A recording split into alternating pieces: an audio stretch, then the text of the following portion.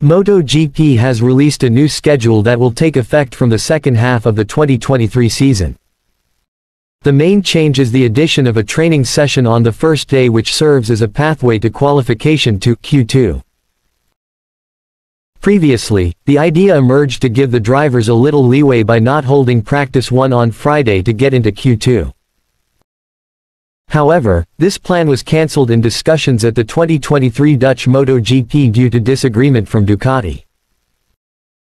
Now Dorna as the organizer has announced that changes to the schedule with a new format will begin at the next race, namely the 2023 British GP on the 4th to the 6th of August.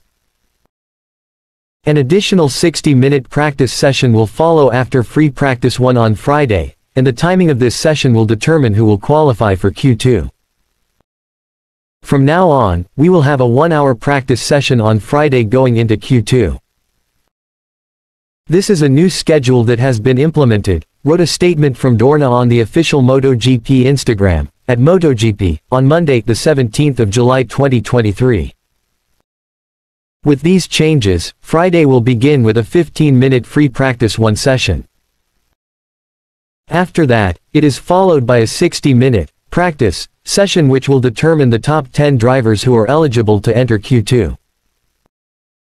On Saturday, Practice 3 will be renamed Free Practice 2 and last 30 minutes.